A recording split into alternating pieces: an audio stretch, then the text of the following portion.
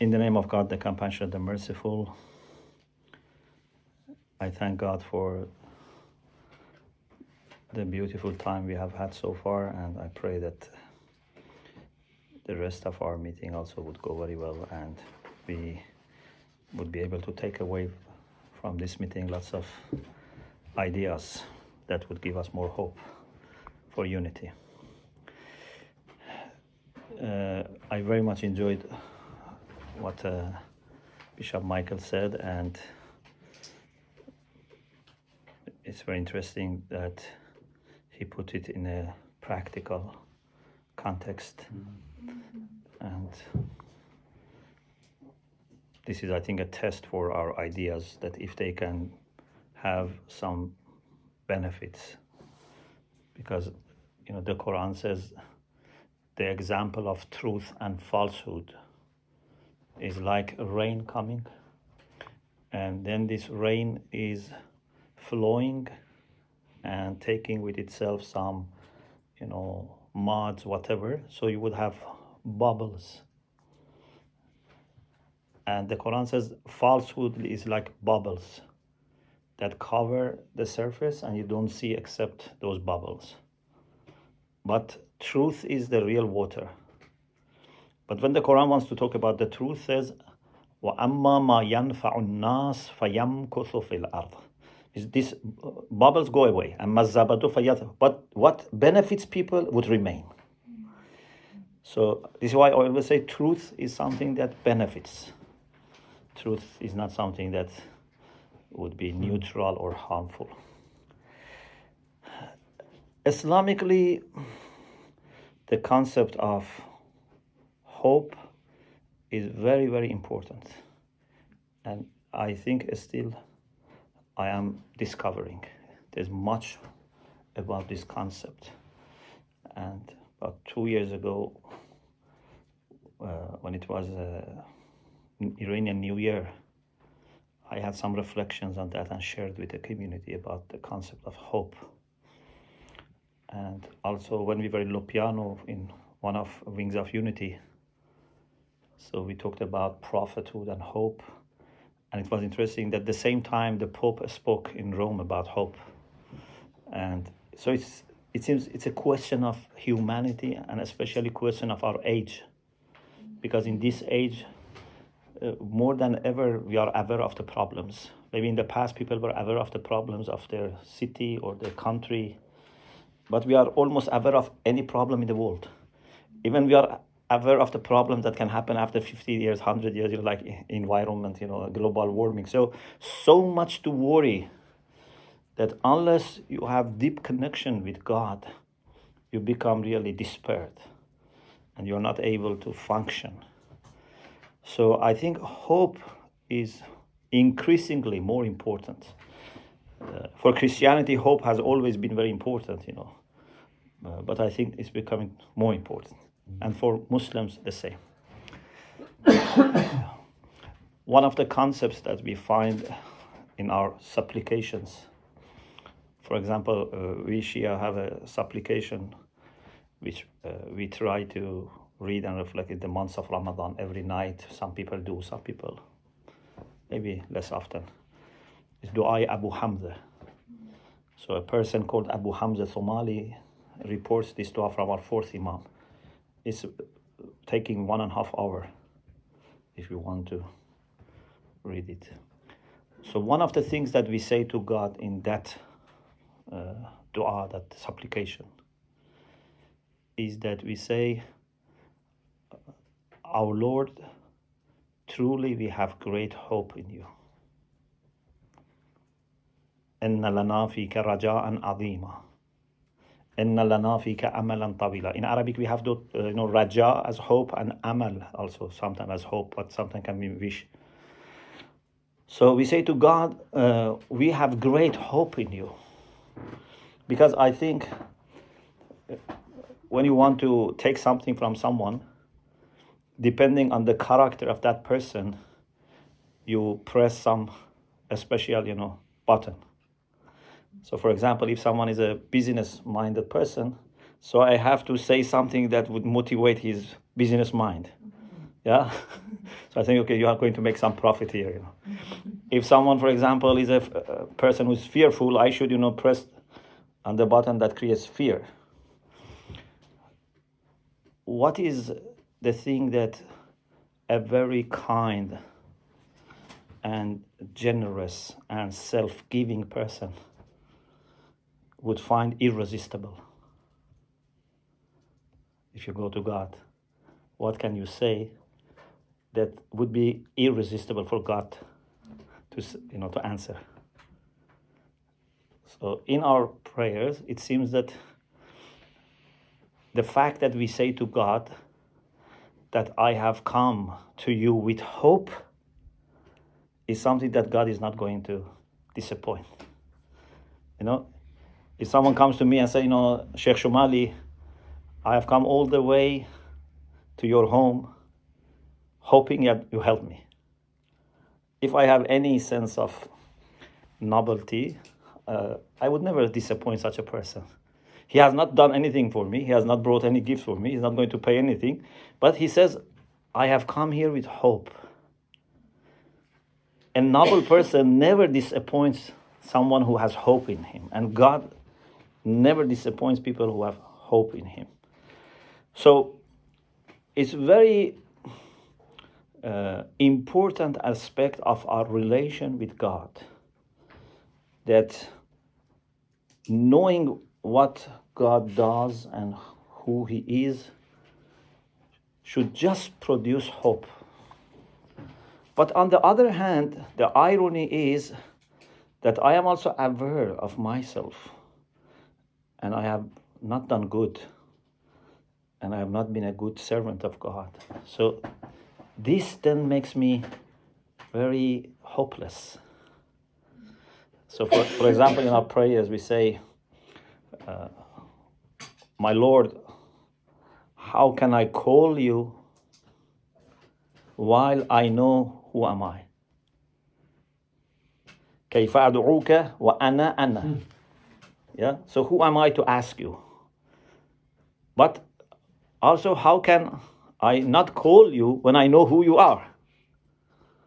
So, this is the challenge that is actually very beautiful, that gives a balance. My hope is not in me or my actions. My hope is in my Lord. And I am aware of my shortcomings and problems. But still, I have hope in Him and I would go to Him. And our uh, text say that when you expect something from God and you see that problems are many and in a human sense you are most hopeless that's the time that you have to be most hopeful for example let me read for you one beautiful hadith uh, prophet muhammad said kun lema la tarju arja min lema tarju. With respect to what you don't have hope for, be more hopeful. because when you have hope for something, it means that you are relying on human attempts and human solutions. But when you do your best and you are still hopeless. There's nothing more that I can do. Situation has gone out of our control. Yeah? Is someone who is drowning. If you reach that level of desperation that we talked on Saturday, you feel really desperate for God's help, then the chance of God helping is more. And then the prophet mentions the example of Moses. He says, فَإِنَّ أَخِي مُوسَى بْنَ عِمْرَانَ ذَهَبَ لِيَقْتَبِسَ نَارًا you, you know, when Moses with his family was traveling in the night, and it seems was a dark and cold night, and maybe his most important concern, or at least one of the most important concern, but maybe the most how to take his family safely. He was not thinking about a big thing happening, just how to take them safely. But then he was alert. So he saw on the side, right or left, I don't know, but must be on the side, not in front. He saw fire and he said to his family, فقال لأهلهم كثوا إني آنست نارا. He said to his family, stay here. And because he said, stay here, I realized that it was not in front of them because otherwise they could all have gone and reached it. So they stay here. I see a friendly fire. I go, maybe I can take this fire uh, so that, you know, either we can warm ourselves or find guidance. So, no hope for receiving revelation and being spoken by God. But then, actually, in that moment, the most important event of the life of Moses up to that point happened, and that God spoke to him from that bush. Or we have a similar hadith from our first Imam. And there is this example of Moses, the same example that he went to take fire, but he came back as a prophet. And we have an example of the Queen of Saba. That Queen of Saba went to Solomon to ask him for, you know, not invading or attacking their country, whatever. But over there, she embraced faith. So she never thought she's going to embrace faith there. Or the magicians. Magicians, uh, when Pharaoh wanted to defeat Moses, he called the best magicians and these magicians, uh, you know, before they started, they asked uh, Pharaoh, Are you going to pay us? There is a reward for us if we manage to win Moses. And he said, Yes, you and you become also very close to me. So they never expected anything greater than money or position, worldly position. But when they saw the miracles of Moses, they were the first people to admit that this is act of God. This is not magic. So Pharaoh brought them to defeat Moses, but they became the first people to believe in Moses. and therefore Pharaoh was very angry with them. And he said, إِنَّهُ لَكَبِيرُكُمُ الَّذِي عَلَّمَكُمُ السِّحْرِ So Moses must be your master in magic you you have learned from him magic and now you are doing all this and he said i am going to crucify you i'm going to crucify you on the uh, you know trunk of the date tree and it is amazing that these people who were magicians and they came to defeat prophet of god they had such a transformation conversion that when Pharaoh threatened them to death, they said, La dhayra. Inna ila rabbina lamunqalibun. No problem. We have returned to our Lord. So they had no such expectation, but because they acted properly at that moment, then God accepted them and made them very high in their faith. And then they became martyrs. So, whenever we are dealing with someone like God, you should never let anything to make you hopeless. And you should know that God has all the means and all the reasons because of his love, his mercy. He has all the means and all the reasons to help us faithful people. The only thing that we have to make sure is that our hope is realistic, it's not illusion. Because sometimes I have hope, but this is illusion, it's not really hope. For example, a farmer who doesn't you know do anything, doesn't prepare the ground, doesn't you know plant properly, doesn't take care of the farm and says I have hope that I have I'm going to have a good or great harvest. This hope is baseless. This is not hope. This is void. Hope is the fruit of a tree. It has roots. But if someone just has hope, which, which is not based on anything, this is not hope. It's like an artificial fruit. It's not a real fruit. Or a student who doesn't study, doesn't do homework, doesn't study, doesn't do anything. So I have hope that I will get best results. This is not hope. This is illusion. This is what we call unrealistic desire.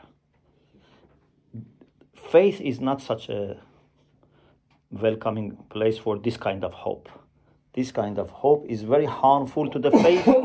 and if faithful people develop such kind of hope, they become very lazy and always they put God, you know, in corner to help them. And God, you know, many times help us, but you know, God says you have to learn. You know, how, how, many times I should come and help you because of your laziness or not planning properly, not you know working together, not coordinating. You know, like for example, uh, I am, for example, uh, aware that my father is the head teacher of the school, and then all the time, you know, I come late. You know, I you know fight people and say, okay, my father you know, is going to help me. Maybe father once, twice, but he cannot help you all the time. If he's a just person, he cannot help you all the time when you are doing all these silly things. So, faithful people should not expect God to do favoritism. Faithful people should do their things properly and then be sure that for anyone who does things properly, God's support is available. Actually, the Quran says God not only supports people who seek, uh, you know, high ranks in spirituality, even God supports people who work for worldly things properly. The Quran says, The one who is interested in the hereafter and does proportionate efforts, or the one who yuridul ajala, the one who does hope, you know, dunya, this world, but they really make efforts, God will help them also. So basically, this world is a place that people who work hard and make efforts, they should be hopeful that they can get the results. But especially so, people of God. God even help people of, you know, worldly you know, aims if they work hard. But if someone is a if the community of God whose aims and objectives are godly, they make things properly, they plan properly, they take advice, they consult. They have all these rational means of success and they put their hope and trust in God. For them, there is no limit. So this is one aspect of hope that I wanted to mention. And also, another thing that very much is mentioned in our hadith is about the balance between hope and fear. Because sometimes we go to one extreme. Either we become totally hopeful and then we don't have any fear this is dangerous.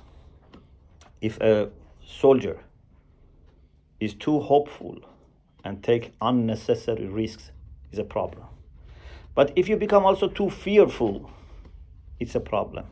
So we have many, many uh, hadiths that says you have to find balance between hope and fear. And I think one way of understanding the balance is to see the amount of hope and fear that you have makes you more active or more passive.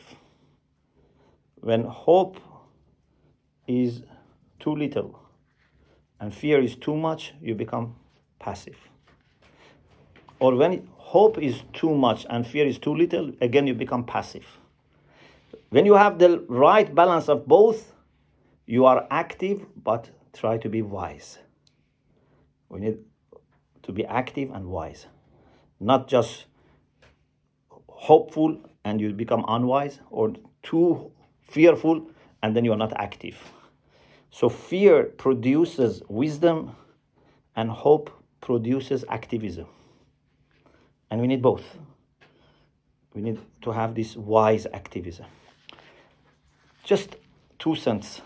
Uh, it's my two cents about hope. Uh, uh, I couldn't do justice, but just to begin with. Thank you.